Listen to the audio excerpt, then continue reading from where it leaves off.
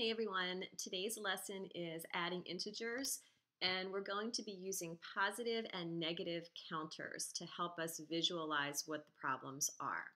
So if you have your lesson worksheet, take that out so that you have it in front of you.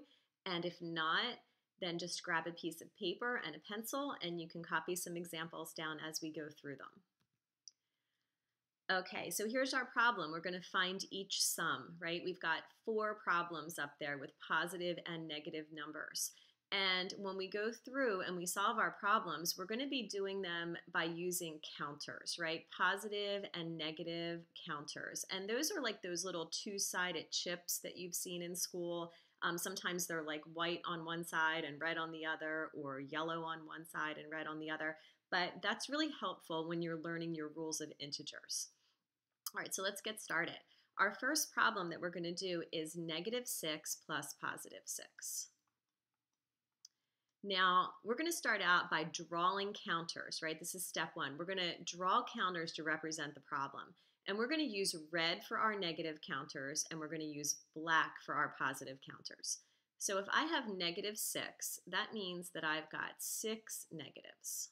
So I'm going to draw 6 red counters. And then if I'm adding a positive 6 to that, I'm going to draw six positive counters right underneath. And then we're going to see how many pairs we can cancel out, right? So remember that whenever you have a positive 1 plus a negative 1, right, that's going to cancel out. Positive 1 plus negative 1 just equals 0. So that's what we're looking for. We're looking for pairs of positive counters and negative counters, right? One positive and one negative would cancel out. So if I go back to my problem, I'm going to see how many pairs of counters I can cancel out. Well, here's a negative and a positive, so I can cancel that. A negative and a positive, negative and a positive, right? You're just going to go through, cancel out as many pairs of negatives and positives as you can.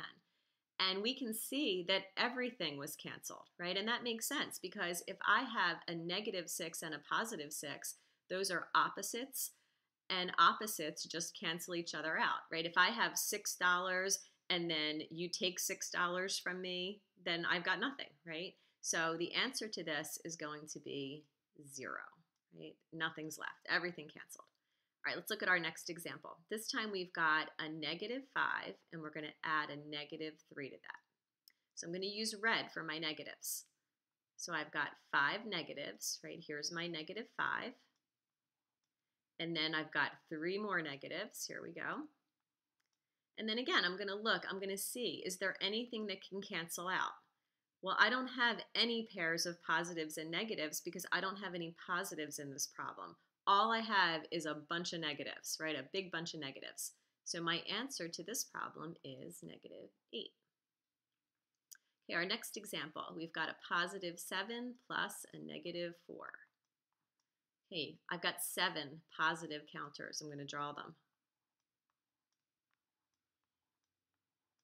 And then I've got four negatives this time. So I'm going to draw four negative counters. And we're going to see how many pairs of counters we can cancel out, right? How many positive ones plus negative ones do we have? Well, we've got one pair, two pair, three, four. And this time I've got some extras, right? I'm left with these right here. I'm left with three positives. So my answer to this problem is positive 3.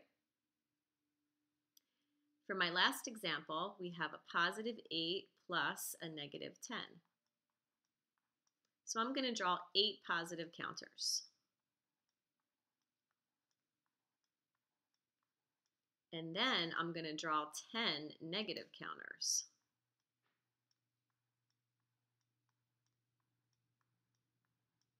And we're going to see how many pairs of positives and negatives we can cancel. Well, I can cancel one, two, three, four, five, six, seven, eight pair. And this time, I'm left with two negatives. So my answer is negative 2. Now, of course, there are rules, right? And as we're adding integers, when we're adding positive and negative numbers, hopefully you get to the point where you can kind of think about these counters mentally, right? And you can look at a problem and maybe think to yourself, all right, I've got this many positives and this many negatives, and how many would cancel, and what am I left with, right? So the rules are when you have the same sign, right? So if we look, for example, at our second our second problem right here, the negative 5 plus the negative 3, we had integers that had the same sign. They're both negative. Whenever you have integers that are the same sign and you're adding them together, you're simply going to add those numbers. So you're going to add the numbers and you're just going to keep the sign. If we're adding two positive numbers together, like positive 3 plus positive 4, then we get positive 7. If I'm adding two negatives together, like negative 3 plus negative 4, I'm going to get negative 7 right? Because if you're just adding two negatives, you end up with a big old pile of negatives, just like we did in our second example here with negative 5 plus negative 3.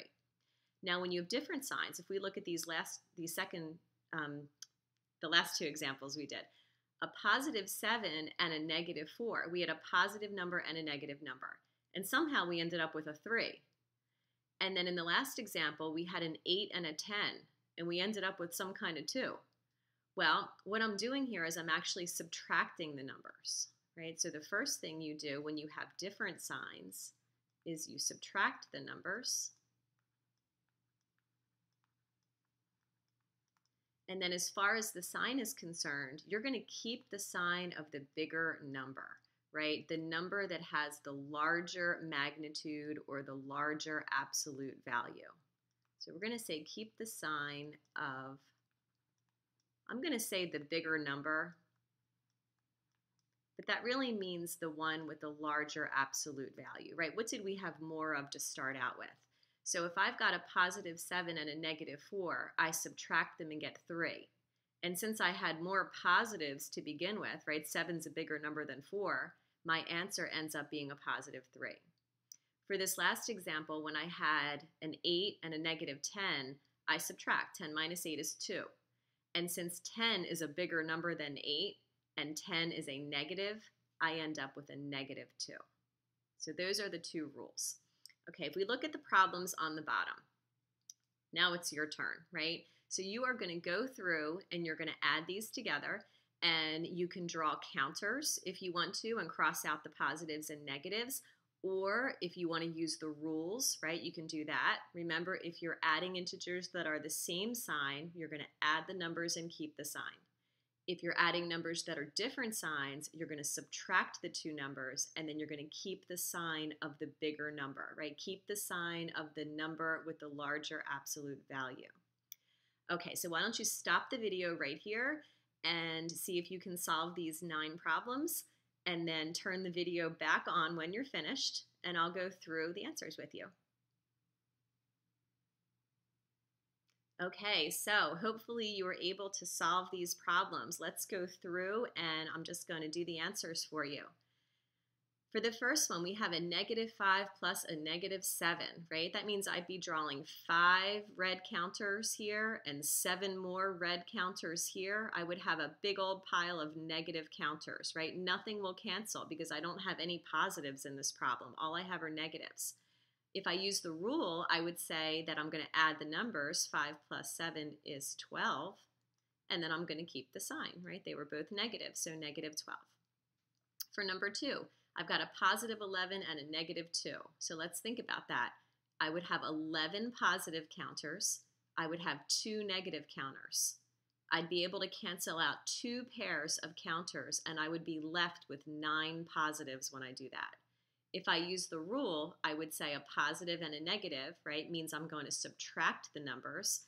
11 minus 2 is 9, and then I keep the sign of the bigger number positive 11 was bigger than 2, right? 11's a, a larger absolute value than 2 is, so it's going to end up being positive 9. For number 3, I've got a positive 7 and a negative 12, different signs, right? We're going to subtract the numbers and get 5. The bigger number is the negative 12, so my answer will be negative 5, right? Because 12 has a larger absolute value. Number four, we've got a positive 15 and a negative 4. We're going to subtract those numbers and get 11. 15 is a larger absolute value than negative 4, and 15 was a positive number, so my answer will be positive 11. Number 5, a lot of people get this one wrong and say 0, right? But if we have a negative 6 and another negative 6, that means I've got six red counters and six more red counters. Nothing cancels, right? It's just negative 12. For number six, different signs again. So we're going to subtract. 20 minus 7 is 13. The number with the larger absolute value is the 20. And since 20 was a negative number, we're going to end up with a negative 13. Now 7, 8, and 9, we've got um, more than two numbers that we're adding, but that's okay. We can just go from left to right. So if I do a negative 2 plus a positive 6, I'm going to take it one step at a time. That's going to give me a positive 4 right? Because we're going to subtract them, keep the sign of the bigger number. And then I'll bring this down. Now if I'm adding a positive 4 plus a negative 4, positive 4 plus negative 4, different signs, we subtract them. That gives us 0. Everything cancels. If I were to draw this out, I would have 4 positives and 4 negatives, and everything would cancel. So it would just be 0. For number 8, let's go left to right. So 8 plus negative 9 is negative 1. Subtract and keep the sign of the bigger number. Bring down that plus 13. A negative 1 plus a positive 13 means that I would have one negative counter, I would have 13 positive counters, I'd be able to cancel out just one pair, and I would be left with 12 positives, right? Or we can think of our rule. Subtract the numbers, 13 minus 1 is 12, keep the sign of the bigger number. So it's going to be positive. All right, then we've got this one over here. So we can go from left to right. And another thing I want to mention is you don't have to go from left to right. You can add these numbers in whatever order you want to, right? Whatever order makes sense because it's just an addition problem. We can use our commutative property. So if it's easier for you to maybe add all the negatives first, right? That's something that you could do. So if I wanted to start out maybe by adding my negative 19 and my negative 1, right, that's just going to be negative 20. And then I've got five more negatives, right? So maybe I want to start out this time by adding all of my negatives together. The negative 19 and the negative 1 and the negative 5 is negative 25. And then I'll just add that positive 6 on the end. Different signs, so we subtract and get 19. The number with the larger absolute value is the 25, so our answer will turn out to be negative, right? So you don't have to necessarily go from left to right. That's completely up to you. Another thing that's kind of interesting about this one that you may have noticed, I'm going to erase this, do it one more time. If I were to look at these numbers, right, I've got a positive 6 right here, and then I've got a negative 1 plus a negative 5 over here. Well, wouldn't that negative 1 plus negative 5 be negative 6? So maybe I would start out by adding these two first. And that would leave me with a negative 19 plus a positive 6 plus a negative 6. So this positive 6 and negative 6 just cancel out, right? Because a positive and a negative just equals 0. And again, we're left with negative 19 right? So you can group them, you can move them around, and you can add them in a different order if that makes it easier or makes more sense to you. Okay, so hopefully you are good with adding integers using counters and then also using the rules.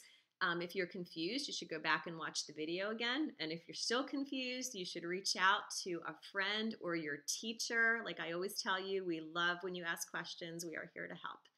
So I uh, hope you did a great job on this. I'll see you next time.